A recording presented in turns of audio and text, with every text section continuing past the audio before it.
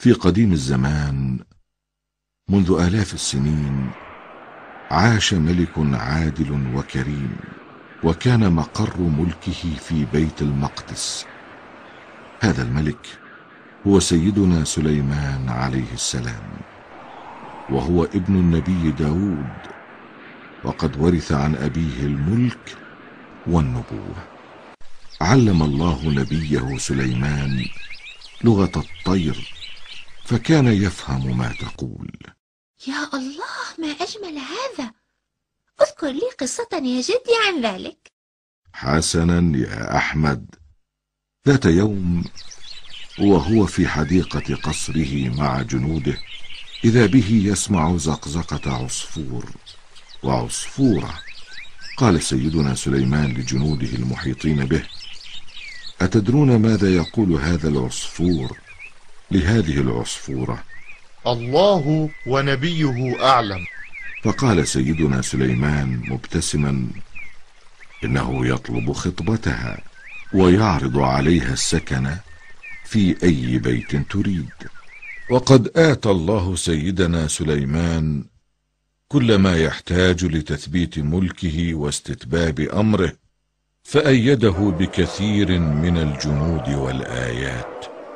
وفي أحد الأيام كان سليمان سائرا بجنوده من الإنس والجن وكانت الطير مظللة لهم بأجنحتها حتى وصل إلى واد فيه نمل كثير. سمع سليمان نملة تحدث أخواتها فأمر جنوده بالتوقف وأنصت لحديثها. النمل ادخلوا مساكنكم مخافة أن يحطمكم سليمان وجنوده وهم لا يشعرون. فدخل النمل إلى البيوت بسرعة.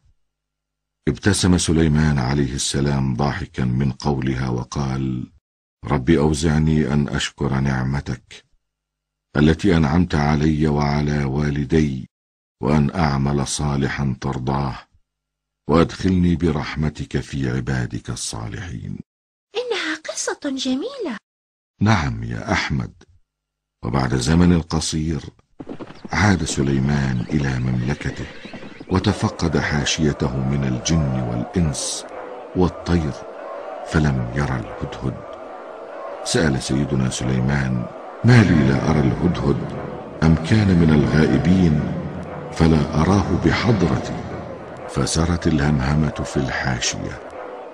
وقال طائر لآخر هل رأيته؟ لا عندما عدنا لم يكن معنا غضب سليمان غضبا شديدا وقال والله لأعذبنه عذابا شديدا أو لأذبحنه إلا إذا أتاني بحجة قوية تنجيه مما هو فيه وماذا فعل الهدهد؟ بعد قليل سارت الهمهمة مرة أخرى قال أحد الطيور ها هو الهدهد لقد جاء. ودخل الهدهد على سليمان خائفا وجلا فقال له سيدنا سليمان بغضب أين كنت أيها الهدهد؟ فقال الهدهد خائفا من غضب سيدنا سليمان. أيها الملك الكريم لقد جئتك من سبا بخبر أكيد. فقال سيدنا سليمان وما هذا الخبر أيها الهدهد؟ في سبأ قوم ملكوا عليهم امرأة اسمها بلقيس. لها عرش عظيم من اللؤلؤ والماس والذهب. إنهم قوم يعبدون الشمس ويسجدون لها من دون الله. وزين لهم الشيطان أعمالهم فصدهم عن عبادة الله الخالق الرازق. يا لجحود هؤلاء القوم وما أغرب ما يصنعون. ألا يسجدون لله الذي يخرج النبات من الأرض والمطر من السماء ويعلم ما يخفون في صدورهم وما يعلنون؟ الله لا إله إلا هو رب العرش العظيم. أطرق سليمان برأسه مفكرا ثم قرر أن يرسل لها كتابا يدعوها فيه وقومها إلى الخضوع لطاعته وسلطانه والمثول لأوامره. حتى يعبدوا الله بدلا من أن يعبدوا الشمس. وقال للهدهد أيها الهدهد سنرى عم قريب أصدقت أم كنت من الكاذبين؟ اذهب بكتابي هذا فألقه إليهم ثم انتظر غير بعيد لنعرف ردهم سمعا وطاعة أيها النبي والملك الكريم.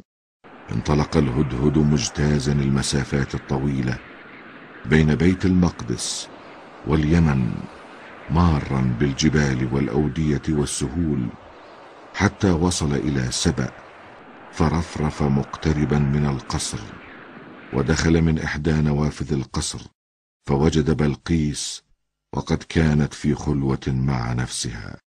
ألقى الهدهد بكتاب نبي الله سليمان إليها وانتظر جانبا حتى يسمع ردها. تعجبت بلقيس من هذا. فهي المرة الأولى التي ترى فيها طائرا يحمل كتابا.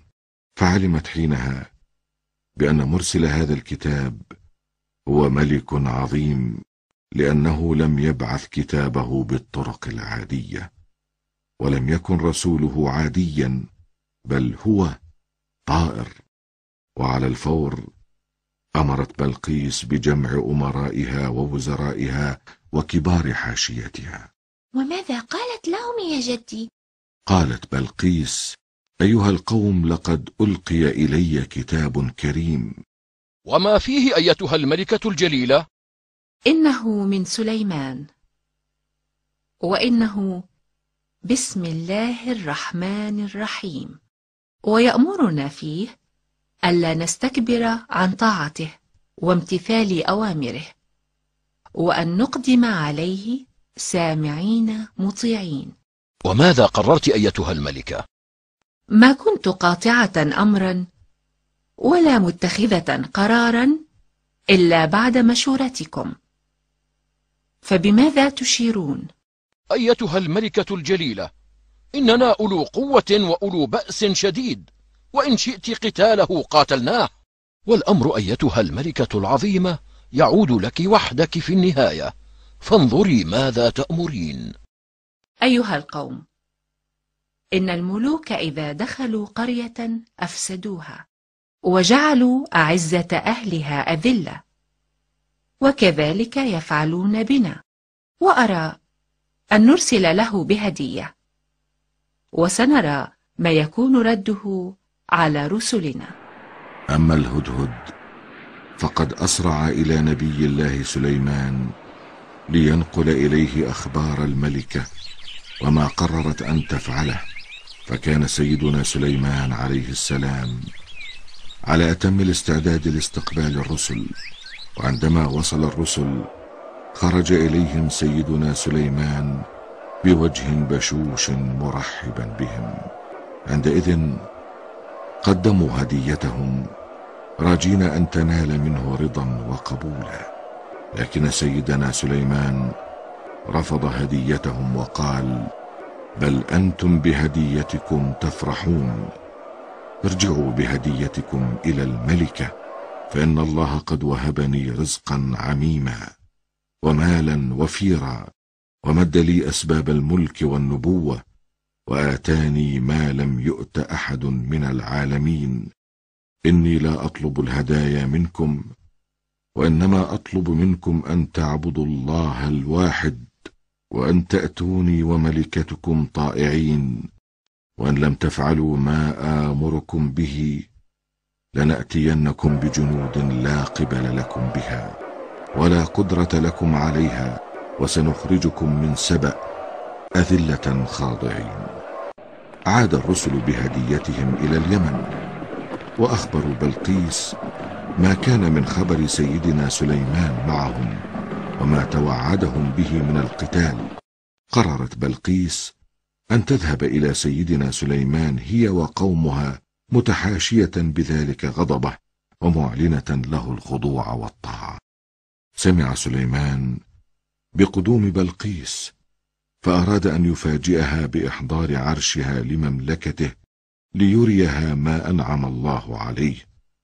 قال سليمان لجنوده من يستطيع منكم أن يحضر لي عرش بلقيس قبل قدومها؟ قال عفريت من الجن أنا أحضره لك قبل أن ينفض مجلسك. وكان مجلس سليمان يبدأ من أول النهار إلى قريب الزوال. فقال شخص آخر. أنا أيها الملك الكريم أتك به قبل أن تغمض جفنك. انبهر سليمان عليه السلام عندما رأى عرش بلقيس أمامه في طرفة عين فشكر الله على ما أيده به من الجنود والمعجزات. أمر سيدنا سليمان جنوده أن يغيروا في زينة العرش ليختبر ذكاء بلقيس وفهمها. فلما أتت بلقيس وعرض عليها العرش دهشت لشدة الشبه بينه وبين عرشها الذي خلفته في اليمن. ولم تكن تعلم أن أحدا يقدر على هذا الصنع العجيب. وكان سيدنا سليمان قد أمر ببناء صرح من زجاج وأجرى الماء تحته.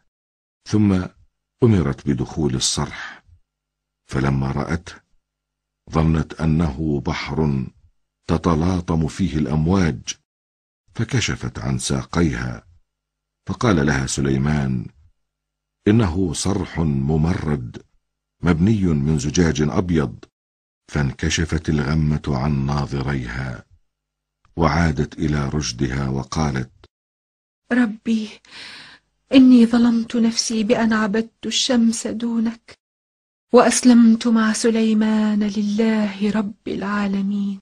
وهذه هي قصة سيدنا سليمان مع بلقيس.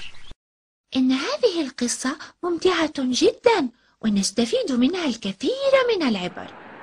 ومن القصص التي ذكرها القرآن الكريم عن حكمة سيدنا سليمان أنه وفي ذات يوم كان يحضر أحد مجالس القضاء التي يعقدها والده داود عليه السلام وكان أمامهما خصمان.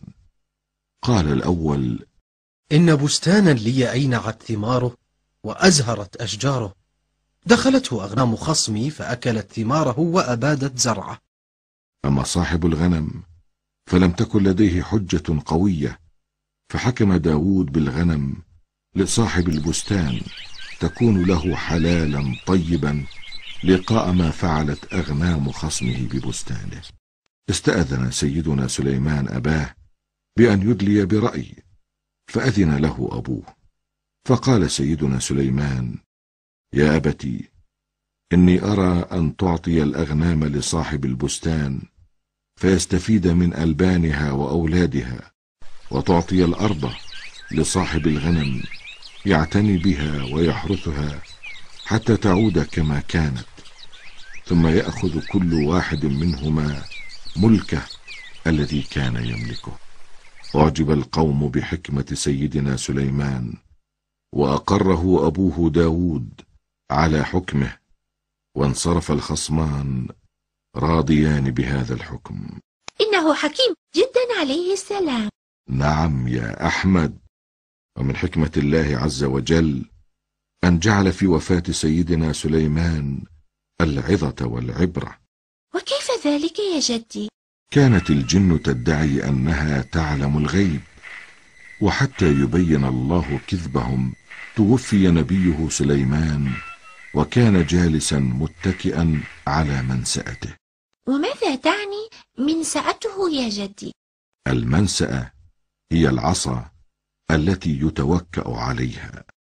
فحضره الموت وهو على هذه الهيئة وبقيت الجن مسخرة في الأعمال الشاقة. فأخذت دودة الأرض تأكل من منسأته حتى انكسرت. فوقع سيدنا سليمان. فعرفت الجن حينها أن سيدنا سليمان قد مات. إنه دليل أكيد على أن الجن لا تعلم بالغيب. فلو كانت كذلك لعرفت بوفاة سيدنا سليمان منذ البداية. أحسنت يا أحمد. أحسنت. إن هذه القصة ممتعة جدا ونستفيد منها الكثير من العبر.